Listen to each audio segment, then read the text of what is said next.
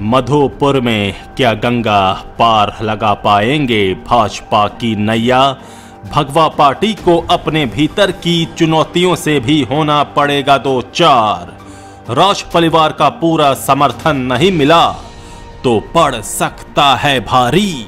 नमस्कार, आज़ाद सिपाही विशेष में आपका स्वागत है। मैं हूँ राकेश सिंह। झारखंड का सियासी माहौल मधुपुर विधानसभा सीट पर 17 अप्रैल को होने वाले उपचुनाव के कारण गर्म हो गया है। सत्ता पक्ष और विपक्ष के बीच इस सीट पर कब्जे को लेकर रस्साकशी तेज हो गई है। भाजपा ने गंगा नारायण सिंह को अपने खेमे में शामिल कर साफ़ कर दिया है कि वो इस उपचुनाव को जीतने के लिए कोई कसर बाकी नहीं रखेगी। गंगा नारायण वही शख्स हैं जिन्होंने दिसंबर 2019 में हुए चुनाव में आजसू उम्मीदवार के रूप में पैंतालीस हज़ार से अधिक वोट लाकर भाजपा के राज परिवार की जीत का रास्ता रोक दिया था।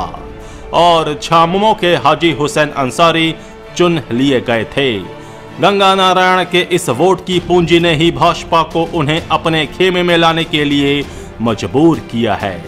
मधोपुर में सत्ताधारी झामुमो की ओर से दिवंगत हाजी हुसैन अंसारी के पुत्र हफिजुल हसन चुनाव में उतरेंगे और 25 मार्च को नामांकन करेंगे। अब गंगा नारायण के पार्टी में शामिल होने से ये स्पष्ट हो गया है कि वही भाजपा की तरफ़ से हफिजुल हसन के खिलाफ चुनावी रण में उतरेंगे। लेकिन मधुपुर में जीत की राह भाजपा के लिए उतनी आसान भी नहीं है। क्योंकि रोश परिवार को नजरअंदाज करना भारी भी पड़ सकता है। गंगा नारायण और रोच परिवार नामक दो पार्टों के बीच से भाजपा अपनी जीत का रास्ता कैसे तय करती है, ये देखना रोमांचक होगा। मधुपुर उपचुनाव को लेकर भाजपा की इस नई चाल और इसके कारण उसकी चुनावी संभावनाओं का विश्लेषण करती आज़ाद सिपाही संवाददाता दयानंद रॉय की विशेष रिपोर्ट। देश के 12 ज्योतिर्लिंगों में सर्वश्रेष्ठ माने जाने वाले कामना लिंग बाबा बैद्यनाथ की नगरी देवघर ज़िले का मधुपुर विधानसभा क्षेत्र इन दिनों झारखंड की सियासत के केंद्र में है। इसका कारण यहाँ आगामी 17 अप्रैल को होने वाला उपचुनाव है, जिसमें सत्ता पक्ष और विपक्ष के बीच रोमांचक मुकाबले की ज़मीन तैयार हो गई है। सत्ताधारी छामुमो की ओर से हाफिजुल हसन यहाँ से अपनी किस्मत आजमाएँगे, जबकि भाजपा ने गंगा नारायण सिंह को अपने खेमे में लेकर साफ़ कर दिया है कि मधुपुर में भगवा झंडा फहराने की जिम्मेवारी उन्हें ही दी जाएगी। हफिजुल हसन जहाँ अपने दिवंगत पिता हाजी हुसैन अंसारी की राजनीतिक विरासत को आगे बढ़ाने के लिए तैयार हैं, वहीं भाजपा गंगा नारायण के सहारे मधुपुर में अपनी नाव पार कराने की जुगत में है। जहाँ तक मधुपुर विधानसभा क्षेत्र के चुनाव परिणाम का सवाल है तो ये हर चुनाव में बदलता रहा है। 2009 में हुए चुनाव में झामुमो के हाजी हुसैन अंसारी ने झारखंड विकास मोर्चा प्रत्याशी शिवदत्त शर्मा को बीस हज़ार से अधिक वोटों के अंतर से हराया था। उस चुनाव में भाजपा ने अभिषेक आनंद झा को उतारा था, जिन्हें छब्बीस हज़ार से अधिक वोट लाकर तीसरा स्थान मिला था। 2014 में भाजपा ने अभिषेक आनंद झा के स्थान पर रॉच परिवार को मैदान में उतारा। उन्होंने झामुमो के हाजी हुसैन अंसारी को करीब 7000 वोटों के अंतर से हरा दिया। उस समय झाविमो प्रत्याशी पच्चीस हज़ार से अधिक वोट लाकर तीसरे नंबर पर रहे थे। लेकिन 2019 में हाजी हुसैन अंसारी ने रॉश परिवार को तेईस हज़ार से अधिक मतों के अंतर से पराजित कर 2014 का बदला ले लिया। उस चुनाव में हाजी हुसैन अंसारी को अट्ठासी हज़ार से कुछ अधिक वोट मिले थे, जबकि राज परिवार को पैंसठ हज़ार से अधिक वोट मिले थे। इस चुनाव में आजसू ने भी अपना उम्मीदवार उतारा था। उसके प्रत्याशी गंगा नारायण सिंह ने पैंतालीस हज़ार से अधिक वोट लाकर सभी को चौंका दिया था। गंगा नारायण को मिले वोट ने भाजपा की जीत का रास्ता रोक दिया था। वही गंगा नारायण सिंह अब भाजपा के खेमे में शामिल हो गए हैं। पिछले चुनाव में मिले पैंतालीस हज़ार से अधिक वोट उनकी पूंजी है, जो हर हाल में उनके ही पास रहेंगे।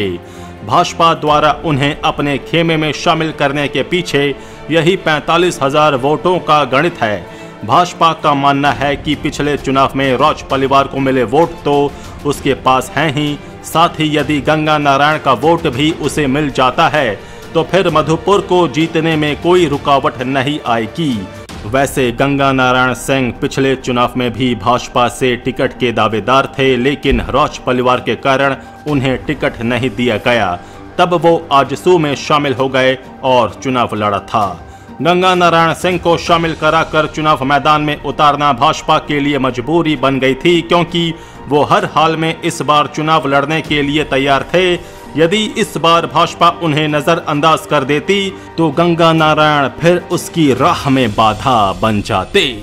इसके अलावा भाजपा के रणनीतिकारों का मानना है कि यदि गंगा नारायण सिंह को उम्मीदवार बना दिया जाए तो मधुपुर से आजसू की दावेदारी भी खत्म हो जाएगी और उसकी दोस्ती बनी रह जाएगी। बेरमो और दुमका हारने के बाद भाजपा मधुपुर का उपचुनाव किसी भी कीमत पर हारना नहीं चाहती क्योंकि इससे पार्टी के प्रदेश नेतृत्व पर भी सवाल खड़े होने लगेंगे। लेकिन भाजपा के लिए ये सब इतना आसान नहीं है। मधुपुर में गंगा नारायण सिंह को प्रत्याशी बनाकर वो उनके पास के पैंतालीस हज़ार से अधिक वोट तो ले लेगी, लेकिन रौच परिवार किस करवट जाएँगे, ये कहा नहीं जा सकता। ये सभी जानते हैं कि गंगा नारायण सिंह गोड्डा सांसद निशिकांत दुबे के करीबी हैं, जबकि रौच परिवार से सांसद का छत्तीस का रिश्ता है।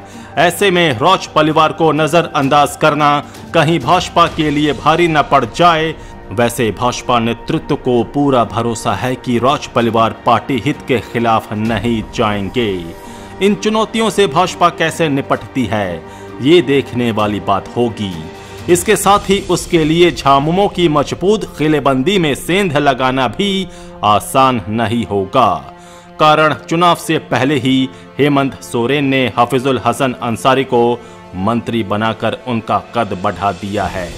अब देखना यह है कि भाजपा की नैया गंगा नारायण पार लगा देंगे या फिर कोई नया गुल खिलेगा।